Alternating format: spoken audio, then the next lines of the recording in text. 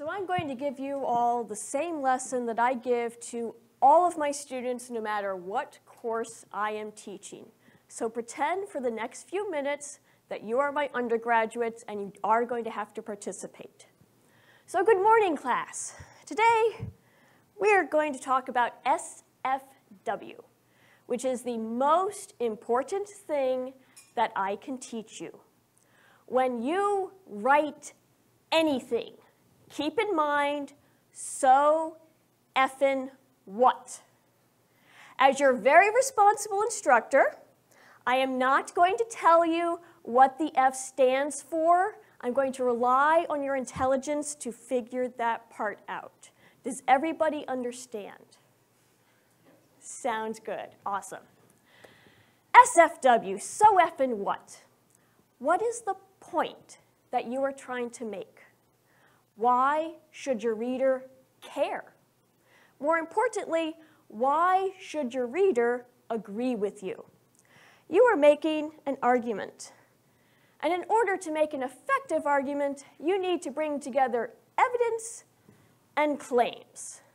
I'll explain it with an example. I taught Introduction to Archaeology, and my students had to write a paper about trends in human evolution. And they had a website where they could measure hominin skulls, so Homo sapiens, Homo erectus, Neanderthals, Australopithecus. Now, I had some students that said increasing brain size was a really important trend in human evolution. That was a great claim, but they had no measurements. They had no evidence to support that claim. So why should the reader believe them? And then on the other end of the spectrum, I had students that measured everything.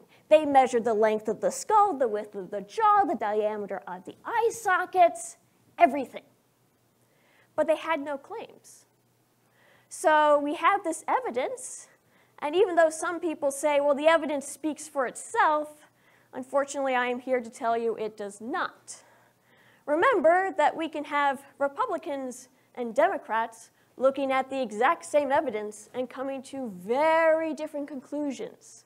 So you must interpret your evidence with a claim. Now, the reason that I say that SFW is the most important thing that I can teach you is because you will use this no matter what career you go into. Who here, when they finish their education, plans on getting a job? I should see everybody's hand raised high. Job is important. Well, guess what? You're going to have to write a resume. You're going to have to write a cover letter. You're going to have to explain to an employer SFW. What are you going to bring to the company that's going to make it worth their while to pay you? You need to make an argument, show why you fit this company. Now let's say you have successfully used SFW, you've gotten that job, and now you have a boss. And your boss says, well, our, our company is considering two different strategies for reaching this market. How should we go about doing that? You're going to have to write a report. You're going to have to explain to your boss, we should go with this strategy because we will get a larger share of the market, we'll make more money, our profits will go up 50%. Bring in that evidence, bring in those claims, bring them together. Now, some of you may have noticed that I am using SFW to explain SFW. So let's break down how I did this. First of all, raise your hand. What is the big claim that I made about SFW? Anybody? Yes. most important thing that I can teach you. We have 10 weeks together, and the most important thing I can teach you are three letters. Okay, pretty, pretty hefty claim. What evidence did I present to support that claim?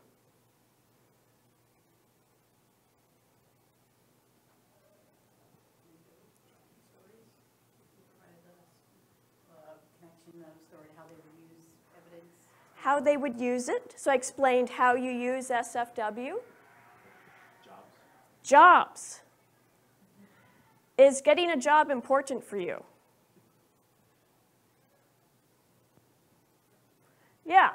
Getting a job is important. And I didn't just say you're going to use this in your job. What else did I say? What specific pieces of evidence did I provide? How are you getting that job? Resume. Resume, cover letter. What are you turning into your boss? A report. You're going to be using this. This is how I'm using SFW to explain SFW. Now, college is a great way to practice SFW. This is a lifelong skill. It's like learning a musical instrument or playing a sport. The more you practice, the better you get. When you're doing your reading, figure out what is the main point. What is the author's SFW? What evidence do they bring in? What claims do they make? We've got some really excited people out here. How do they build their argument? And do you agree with their argument? In your papers, where do you think the SFW goes? If you're writing a paper, let's say you summarize your argument in one sentence. Where would you put that sentence? At the beginning of the first paragraph? Or end of the first paragraph? Even better, what would we call that sentence? Thesis statement, yes, yes. So your thesis statement states your argument. If I were writing a paper about SFW, my thesis statement would be SFW is the most important thing that I can teach you because you will use it no matter what career you go into. Brief summary of the thesis, of my argument, and I explained that throughout the rest of the paper. We are going to practice this when you write your papers for this course. I recommend that you continue practicing this in your other classes because the more you practice, the easier it becomes and the better you get at it and you will use it.